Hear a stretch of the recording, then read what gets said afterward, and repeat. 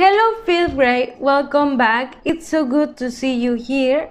And today we're going to start with a review about the activity that we did yesterday. And let's check because we did activities about the question words to ask about information and everything. Um, remember that we used this topic in the books with articles from the newspaper and etc. So, and this was the result we have and that you needed to complete the questions by using who, what, where, when, and what happened. So the first one was who wrote the letter? Next one, where do you live? When does the movie start and what is your job? In these cases, you need to understand what do these words mean? What do uh, what do the question words mean? So uh, you might understand their meaning and try to understand then the questions to complete and choose what is the the best option to complete the, the, the question okay remember these are used only in question for that reason, they are called question words, okay? So right now we are going to go to the activities that we are going to be doing today. And we are going to practice the verbs. Remember that we have two types of verbs. We have the regular verbs and also the irregular verbs. And we use these verbs in sentences to talk about past actions that events and actions that happen in the past and they are already finished. For example, we have some of the verbs that we are learning in Unit 2 and some other verbs. For example, we have move in present, moved in simple past, graduate, graduated in simple past, dance, danced in simple past, sing, sang in simple past, write, wrote in simple past, be born, was born or were born in simple past. It depends um, in the subject that you are using in the sentence or the question. Get married, got married. Drink, drank.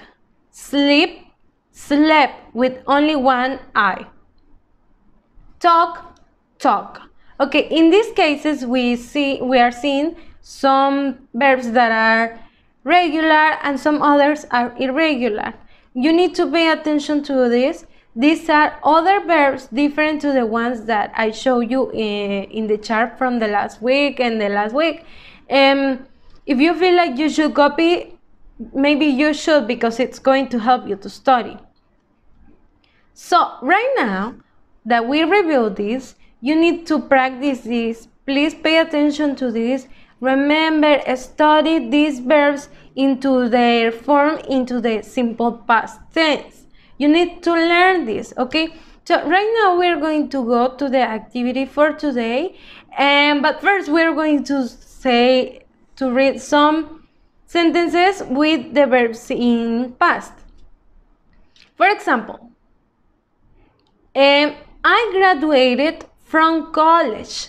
It happened in the past because I'm not graduating today. Yesterday, we moved to a new home. Yesterday, it is in the past.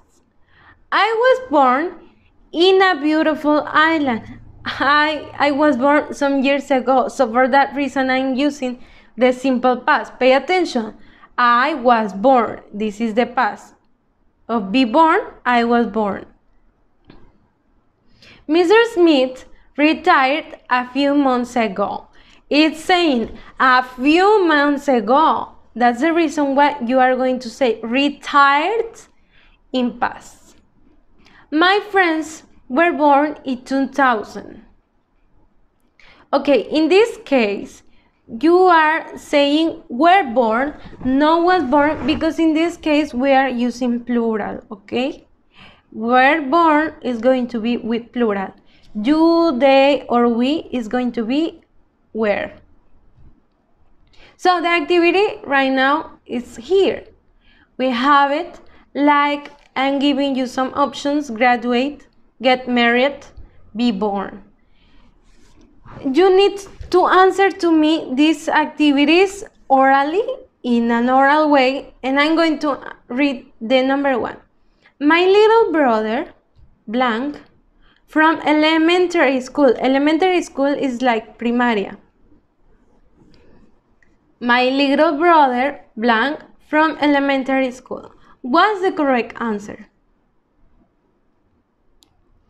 Okay, if your answer was graduate, but in past, graduated, my little brother graduated from elementary school, your answer is correct. Remember, um, I didn't tell you in the in the explanation in the instruction that you needed to change these verbs into past. But you know this that we are using and practicing past. Simple okay? Try to practice that and have it on mind. Number two my mom and dad blank married a few years ago. It is easier. The correct option is my mom and dad got married a few years ago. Very good. Number three, you blank 10 years ago. You have left, solo nos queda be born. But how are we going to use that? ¿Cómo la vamos a escribir en pasado simple? If your answer was you were born 10 years ago, your answer is correct. Remember that you is going to use always were into the simple past. And that's it. If you have questions about these verbs, you need to practice them and ask me, of course.